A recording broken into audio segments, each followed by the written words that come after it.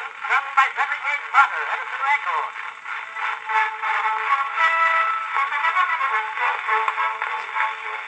There was a maid, a kind of a brave maid, who sang a gay hug love song, gay as a lovely. She went away the day she knocked a warrior born, to kind of a maid of old, but brave and gay he rode one day to battle far away.